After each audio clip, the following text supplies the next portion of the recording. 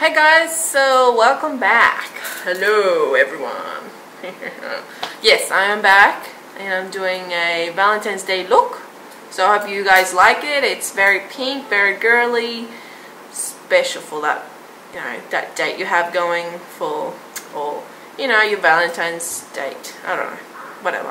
Um, I used pink velvet um, and Naked 2 and Naked 3 palette. Yes, I love number 3.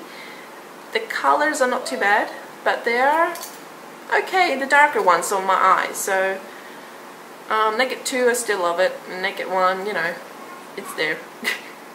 um, so I hope you guys enjoy and thumbs up if you like it. You know, it's good to get thumbs up and feedback so I know that everyone likes the tutorials.